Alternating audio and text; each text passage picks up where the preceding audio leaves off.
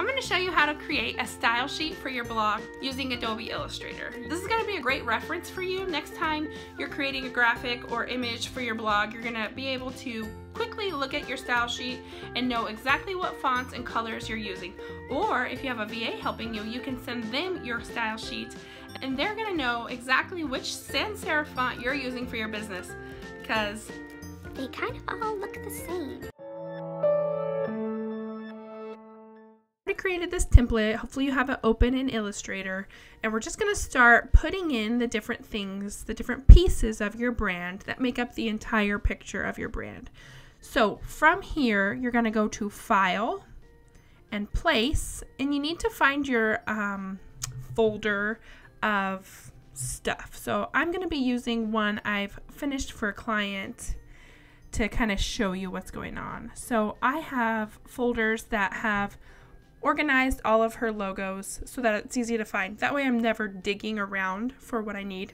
We're always going to want to use a PNG. Whenever possible, go ahead and use your high resolution. The first thing we need is the primary logo, and that's here. Usually uh, it's long and skinny. It really depends on your brand. Sometimes it might be short and fat, sometimes it might be a circle.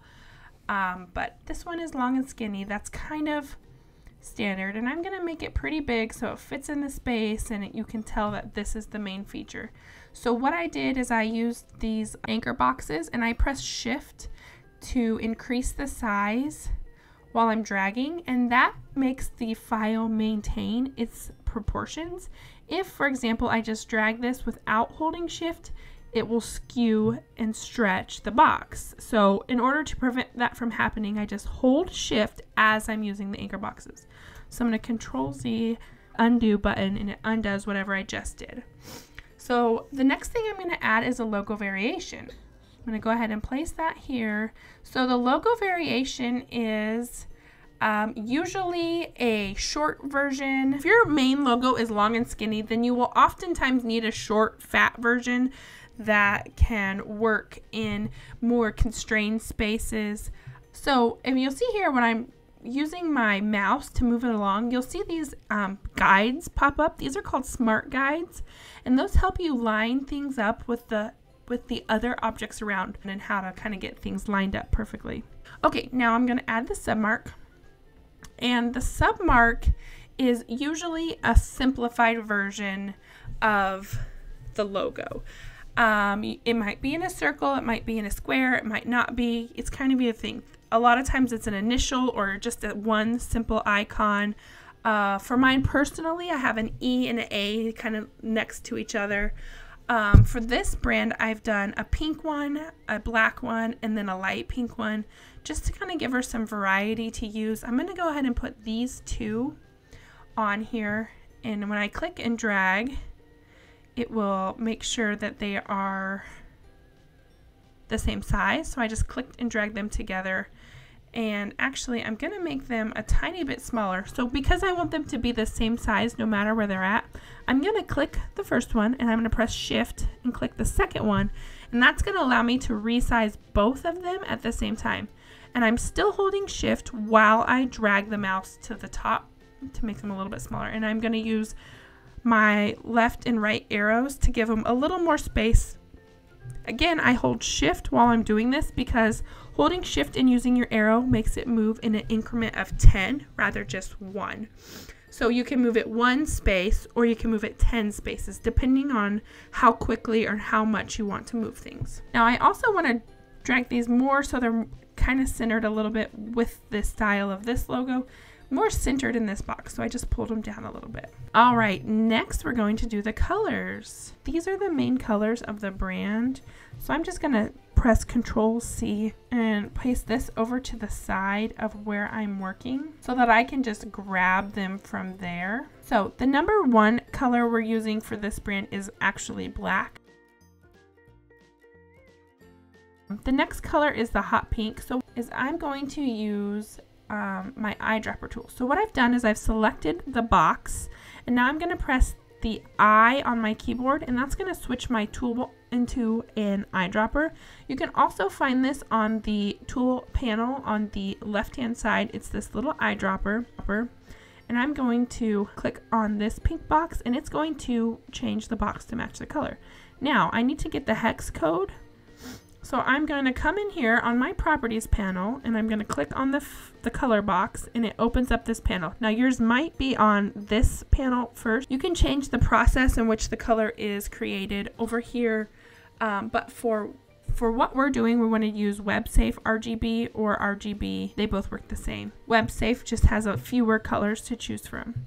So now here's my hex code. I'm going to copy and paste that over here. So now I want this to be all caps, just like everything else kind of is on my board.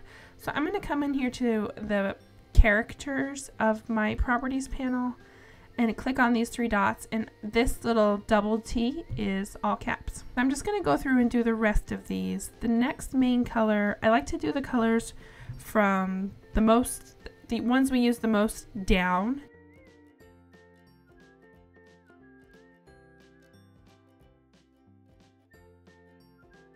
So now another cool little thing is I can select all of these. If I press shift and select these ones, I can make them all all caps at once. So next is the fonts. So here, what I like to do is I like to name this the fonts that we've used, put in the title of the fonts. So this brand uses Lato and Lora. What I do here is highlight this text and search for the um, font in your character panel.